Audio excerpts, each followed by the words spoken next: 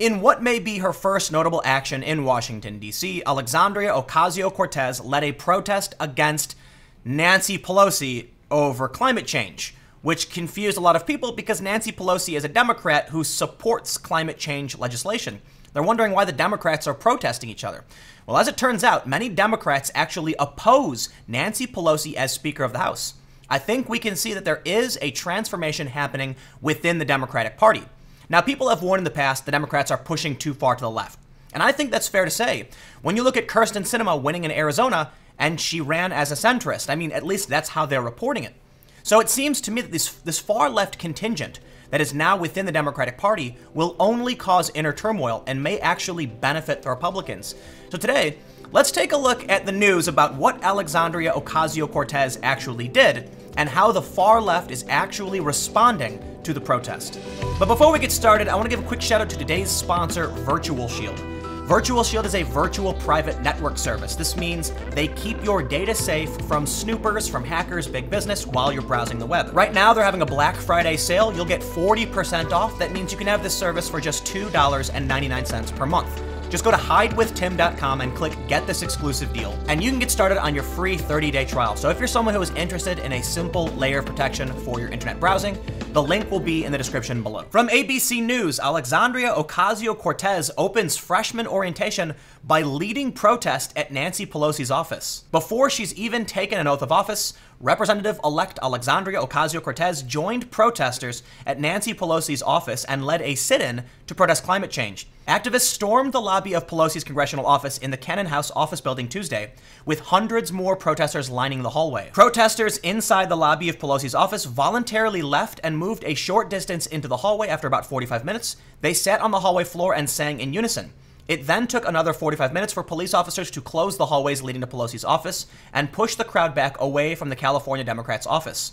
51 people were arrested and charged with unlawfully demonstrating in the House office building, according to U.S. Capitol Police. And that news came yesterday, but today we're hearing from ABC News Never Nancy Democrats ramp up efforts to sideline Pelosi without offering an alternative. A band of House Democrats determined to oppose House Minority Leader Nancy Pelosi's speaker bid are planning to release a signed letter as soon as this week indicating that they have gathered enough support to deny her the 218 votes needed to win the gavel on the House floor in January.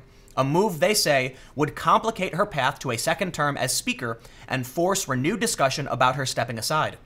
This is a simple letter saying we want new leadership, which is what a vast majority of Democrats and the American people want. Rep. Seth Moulton of Massachusetts, a member of the group, told reporters Tuesday. ABC News has identified at least 14 sitting Democrats and incoming members who have vowed to oppose Pelosi on the House floor. Sources involved in the effort say that the number has grown to at least 20 members, with many more incoming Democrats undecided.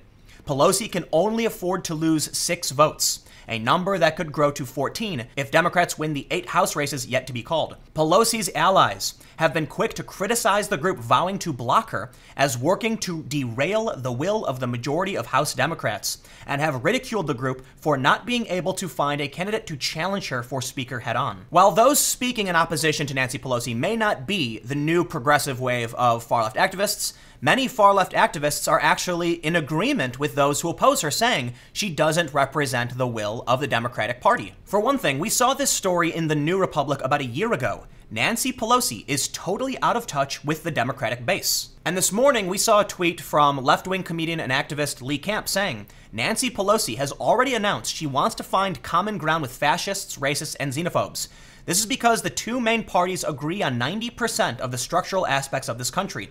The common ground is defending the class structure and further enriching the rich. Now, I don't know if Nancy Pelosi is the right choice, but I do think it's interesting that she supports climate change legislation and the left wing activists would protest her. Why wouldn't they go and protest the Republicans who oppose climate change legislation? Why would you, why would you pro- protest the person who actually agrees with you? I have no idea. But what's interesting, though, is that many people who support Alexandria Ocasio Cortez don't seem to understand how this political system works. In fact, it looks like the centrists won. The centrist Democrats are making history. Well, you could argue the progressives are as well. It seems like we're still kind of split as to whether or not the far left Democrats will actually take more power as the year, years goes on, or if centrism is the right way to go. But I can say there's a lot of rhetoric being pushed around about Alexandria Ocasio Cortez that is straight up incorrect and seems to be propaganda to make people believe that the far left is stronger than they really are. This low quality image was being shared on Facebook, which I found really interesting. They say the pro socialist candidate, Alexandria Ocasio Cortez, won with over 78% of the vote. They say 78% voted to support radical policies of free college, universal job guarantee, Medicare for all. They say young Americans have been indoctrinated by the left in schools, universities, and in the media. This is what the future of America will look like if we don't do anything about it. What's interesting is that this meme is meant to make it seem like young people are going crazy for supporting socialism. But this is actually being shared by both sides because both sides agree with its message and both sides are 100% wrong. While you can say that yes, 78% of the vote did go to Alexandria Ocasio Cortez, you have to consider that her opponents weren't really campaigning in the first place. Yes, Alexandria Ocasio Cortez did in fact win her district with 78% of the vote. But this is more likely due to the fact that Anthony Pappas, Joseph Crowley, and Elizabeth Perry weren't really competition in the first place. Anthony Pappas wasn't really campaigning all that much, and this is a massive Democratic district in New York City. Most people just vote Democrat no matter what their choice is. And I'm sure there are many people who don't like Alexandria Ocasio Cortez because she's made numerous gaffes, but felt they'd rather vote for the Democrat than anyone else. So, sure, she did win with 70% of the vote, but this is like a D plus 30 district, so it's not surprising in the least bit. When you want to get into the nuance, you can see that it was the Democratic primary that got Alexandria Ocasio Cortez elected. But she only had about 16,000 votes in a district of 740,000 or so. 15,000 votes, 16,000, it's all she needed to win the primary. And then because the district is heavily Democratic, they voted for her over anybody else. There has been this internal struggle since Alexandria Ocasio Cortez won. In fact, actually, I'd say it goes back to the rise of Bernie Sanders. When Bernie Sanders first announced he was running, he was in like some basketball gymnasium with a really poorly made banner that said Bernie for president. But his campaign it caught fire and people rushed to his support. I think the reason for it is the people of this country are tired of the elitism. So you really had a lot of people rushing to support Donald Trump, who's a populist, and Bernie Sanders, who's a populist. And as we know, the Democrats stole the primary from Bernie to support Hillary, and Hillary couldn't win.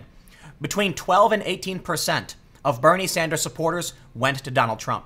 I really do believe Bernie Sanders would have beat Donald Trump, but Hillary Clinton wanted to run, and thus she lost. She was a bad candidate.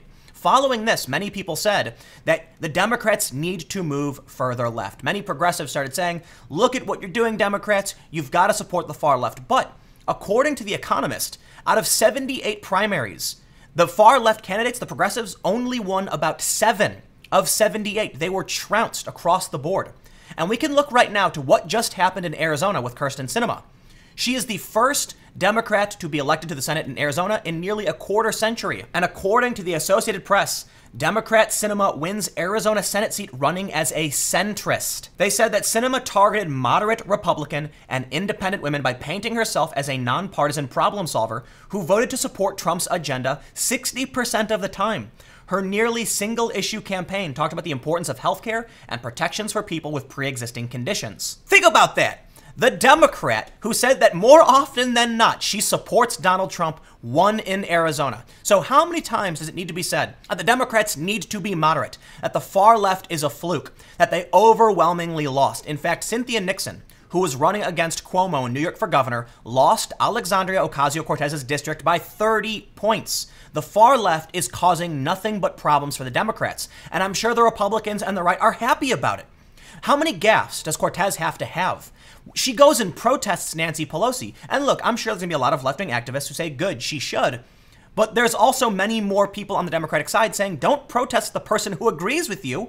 Go and protest the Republicans. It seems like the far left is only serving to poison the Democratic Party by creating infighting and it seems like they only won by small margins. They lost most of their primaries, and those who actually got in got in simply because they won a few thousand votes. Seriously, only about three or 4,000 more votes in the primary in a district of 740,000. That's what got Alexandria Ocasio Cortez elected. Not that she had some radical policy that was going to be better for everybody, but just the idea that most people didn't participate in the primary to begin with because it is a heavily Democratic district. Now, look, that's Joseph Crowley's fault. He should have taken this this seriously.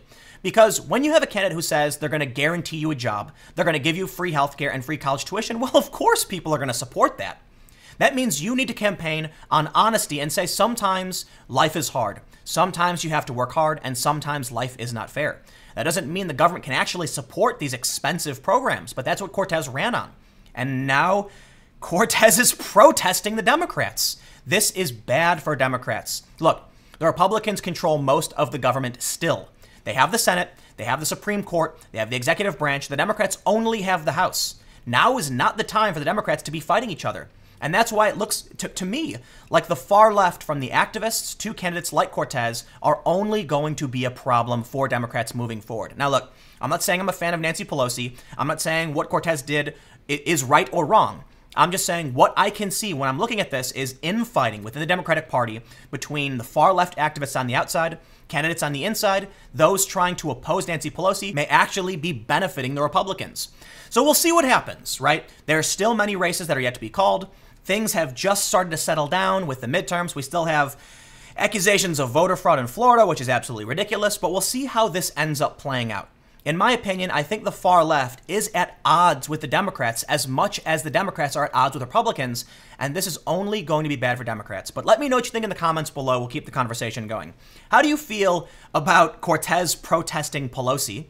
How do you feel about people opposing Pelosi? Do you think this is just going to be bad for Democrats, or ultimately do you think this will be a positive change within the Democratic Party as they seek to oppose Republicans? Comment below, we'll keep the conversation going. You can follow me on Twitter at Timcast. Stay tuned, new videos every day at 4 p.m., and I've got more videos coming up on my second channel, youtube.com slash timcastnews at 6 p.m. Again, thanks for hanging out, and I'll see you all next time.